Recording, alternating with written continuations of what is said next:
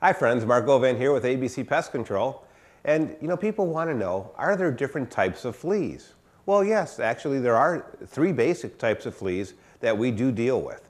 There is a cat flea, which normally you find on your pet, your pet cats uh, and dogs. Then there's a dog flea, which well, the flea actually will live on cats and dogs as well. And what they call a human flea, which normally you find on dogs, but very, very few of those.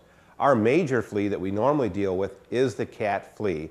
And if you actually look at the little uh, picture under a microscope, or if you happen to have fleas, you can tell a cat flea apart from the dog flea by just a, a little bit of more whiskers on the mouthpiece of the actual flea itself. And that's why they end up calling it a cat flea.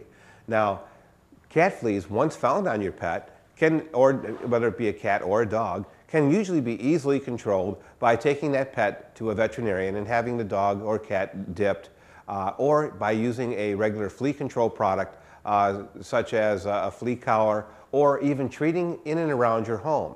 Again, vacuuming your home will help eliminate a lot of the adult fleas and the pupa cases that the fleas leave behind.